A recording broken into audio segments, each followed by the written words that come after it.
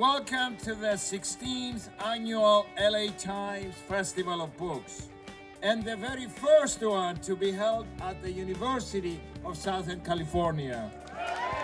Yes. So, as the president of USC, I'm so proud that the nation's largest public literary festival has found a home at one of America's leading private research universities. The Los Angeles Times Festival of Books is officially open at USC.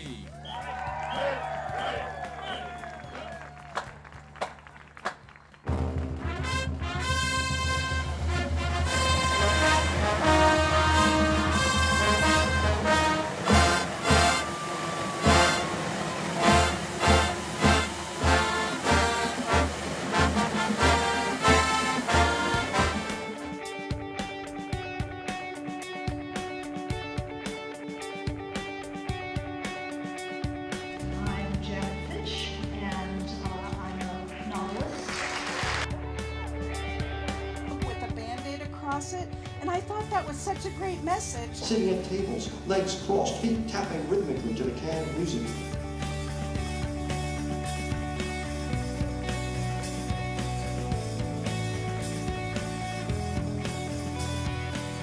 Say you are the special child.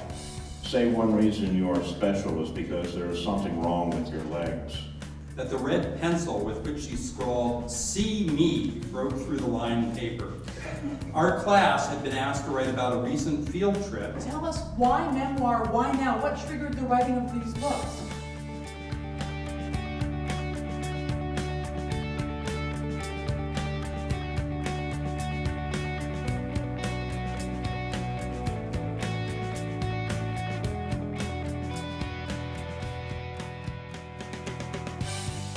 One small but perhaps not insignificant part of the cultural phenomenon that was Brokeback Mountain is the headline made the week before the Academy Awards.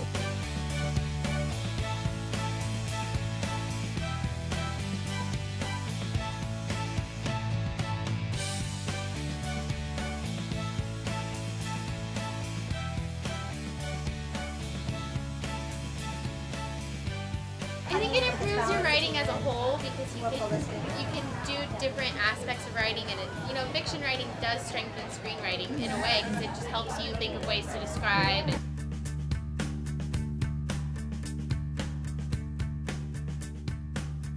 Why is the nation the container that you're drawing it into?